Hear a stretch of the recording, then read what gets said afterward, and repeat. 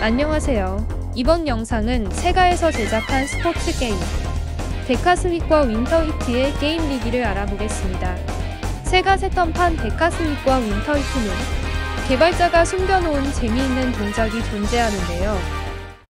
먼저 데카슬릿의 100m 달리기에서 아나운서가 선수 소개를 할 때 방향키를 왼쪽 오른쪽 왼쪽 오른쪽 X 버튼을 누르면 캐릭터가 앞구르기를 하면서 전진하며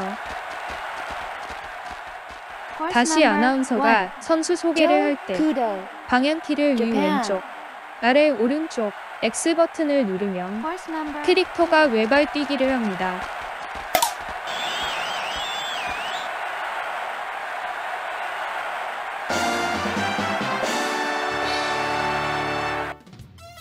후속작인 윈터히트에도 전편 못지않은 동작들이 숨겨져 있는데요. 먼저 스피드스키에서 선수 소개 장면이 나올 때 방향키를 위아래 왼쪽 오른쪽 이 버튼을 순서대로 누르며 캐릭터가 앞구르기를 하면서 내려가며 다시 선수 소개 장면이 나올 때 이 버튼 방향키를 오른쪽 왼쪽 아래 위를 누르면 캐릭터가 옆구르기를 하면서 내려갑니다.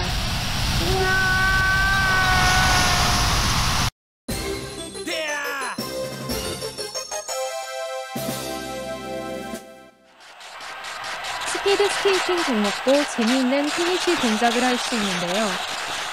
경기 중에 플레이어가 골 앞까지 왔을 때 방향키를 왼쪽 B 버튼을 순서대로 누르면 캐릭터가 헤드 슬라이딩을 하며 방향키를 오른쪽 왼쪽 B 버튼을 순서대로 누르면 스키 점프로 캐릭터가 골인하게 됩니다.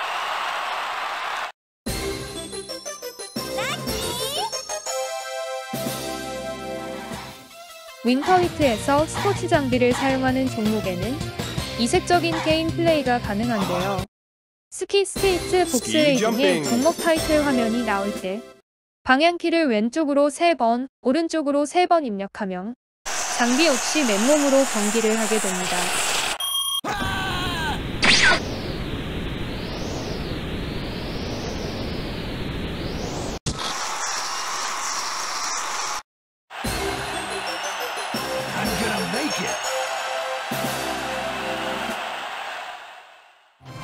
세턴판 데카슬릿과 윈터히트에는 특정 조건을 채우면 hidden 캐릭터를 선택 가능한데요.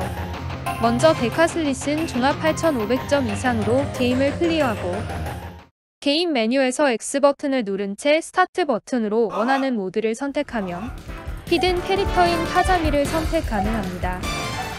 카자미 만키치는 일본 만화 데카슬론의 캐릭터로 캐릭터의 타입은 불명이지만 올라운드와 비슷한 성능을 지녔습니다.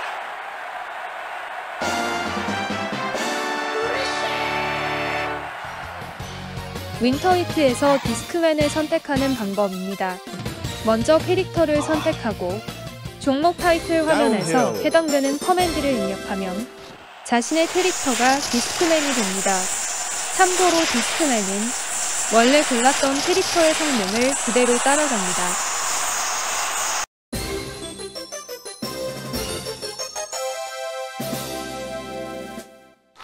윈터히트에도 특정 조건을 채우면 히든 캐릭터를 쓸 수 있는데요. 먼저 종합 만점 이상으로 게임을 클리어하고 게임 메뉴에서 L과 R 버튼을 누른 채 원하는 모드를 선택합니다. 히든 캐릭터는 전편의 캐릭터인 제프 젠슨즈가 등장하며 스케이트 종목에 강한 캐릭터입니다.